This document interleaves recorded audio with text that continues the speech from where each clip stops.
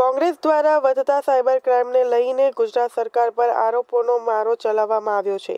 ગુજરાતમાં અને દેશમાં પૂરતા પ્રમાણમાં સાયબર સુરક્ષાઓ પૂરતા પ્રમાણમાં નથી, તેવો પણ આક્ષેપ કોંગ્રેસે કર્યો છે.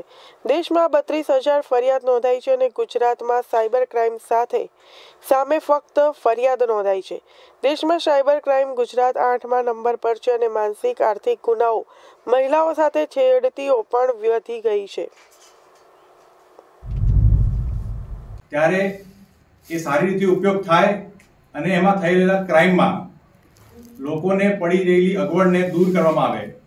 પણ એની સામે જે પ્રકારે આંકડા સામે આવી રહ્યા છે, લોકસભામાં જે પ્રકારે સાયબર ક્રાઇમનો આંકડો મૂકવામાં આવ્યો છે, એ ખરેખર ચોંકાવનારો છે.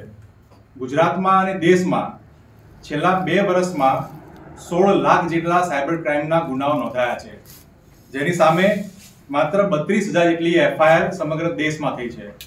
જો ગુજરાતની વાત કરવામાં આવે, તો ગુજરાતમાં બે હજાર સત્તરમાં ચારસો અઠ્ઠાવન, બે હજાર અઢારમાં સાતસો બે બે હજાર ઓગણીસમાં સાતસો ચોર્યાસી બે હજાર વીસમાં બાર હજાર ત્યાસી અને બે હજાર એકવીસમાં વધીને પંદરસો ને છત્રીસ જેટલા સાયબર ક્રાઇમના ગુના થયા છે. છેલ્લા બે વર્ષમાં સાયબર ક્રાઇમનો વધારો બસો ને ચુમ્મોતેર ટકાનો વધારો થયો છે. સામે આપણી પાસે આ થયેલા તમામ ગુનાઓમાં. એ સેક્સ્યુઅલ હરેસમેન્ટની વાત હોય ફેક ન્યૂઝની વાત હોય એટીએમ ફ્રોડની વાત હોય, કે ક્રેડિટ કાર્ડ ફ્રોડની વાત હોય, આ તમામ ફ્રોડમાં કન્વિક્ટેડ રેટ જોવામાં આવે. તે સંપૂર્ણ શૂન્ય છે.